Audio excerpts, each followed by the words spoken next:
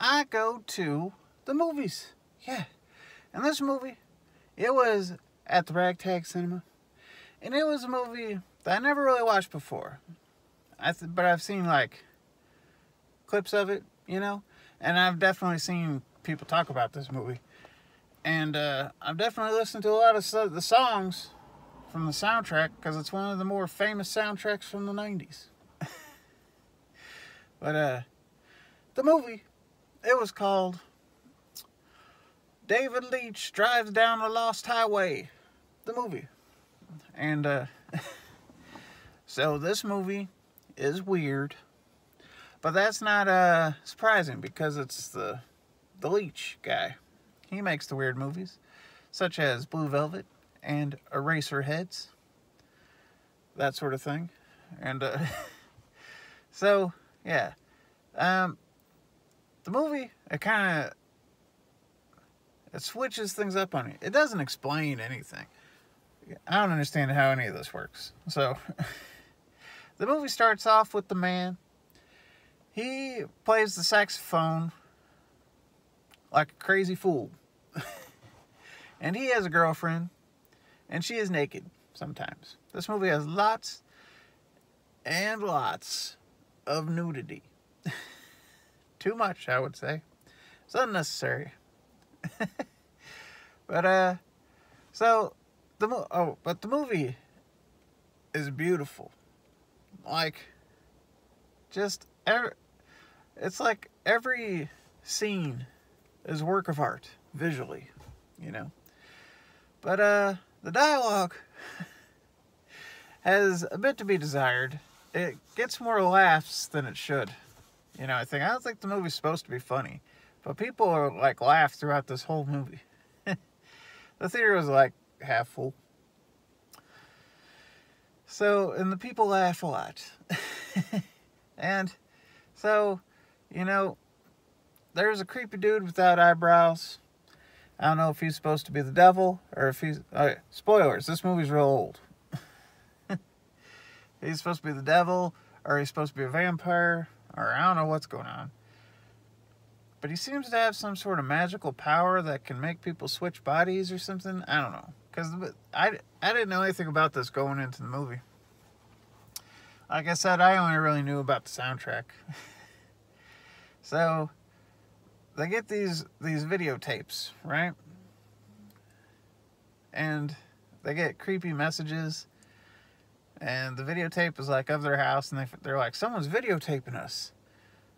This is we can't have this. They have the cops come over. The cops are hilarious. that sort of thing. So, but then in the last videotape, it's like, oh, it turns out this character, main character, has killed his girlfriend. He's like cut her legs off and, or something. It's like what? And he's like, he doesn't remember doing it, that sort of thing. But it's on videotape, so the cops throw him in jail. But they never investigate who videotaped this. The person who's breaking in their house and videotaping things. But anyway, so he's in jail, and some weird stuff's going on, and somehow he switches bodies, and we now we have a completely different movie from this point on. and it's a bit, it's like longer, so it's like that first part. You think that this is the movie's going to be about this guy, but then we switched it up, and uh, and it's a younger guy who kind of looks like a young Charlie Sheen. But uh, so he's in the other guy's jail cell, and this like freaks out the people that work at the prison. They're like, "What? How did you get in there? Where'd the other guy go?" That sort of thing. So he goes back to work, and Richard Pryor's in this movie. You know, he's on like a rascal scooter, and he's like managing this uh, this auto body shop that this kid works at. Kid, I don't know, was in his twenties, something. So he's got his group of friends. His dad is Nick Nolte. or, or Gary Busey. I don't know. One of those guys. One of those guys that's just a crazy person now. But uh yeah, so so but there's like this mobster guy who he's a he's a famous actor too. I don't remember his name. But he's like taking this kid under his wing or something. It's it's all weird.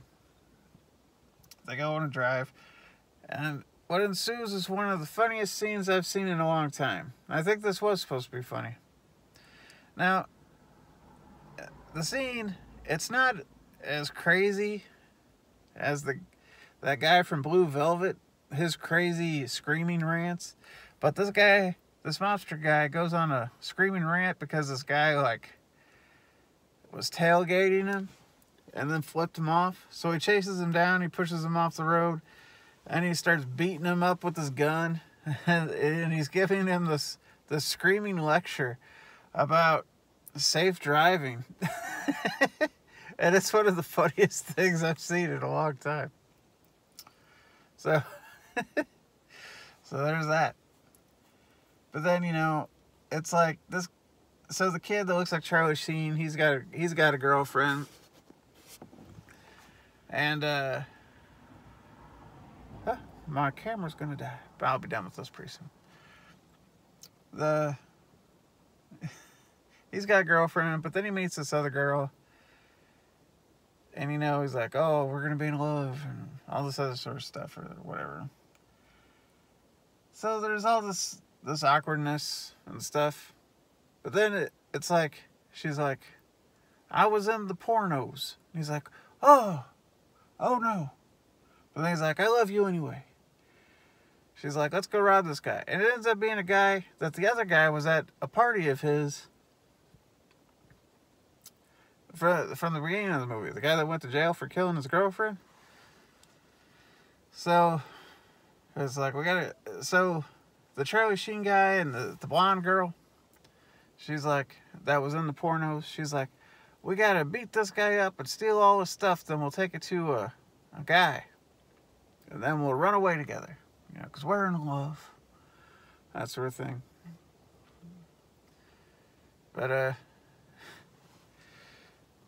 so the guy gets there and he sees the porno that his girl was in, you know, and it's freaking him out.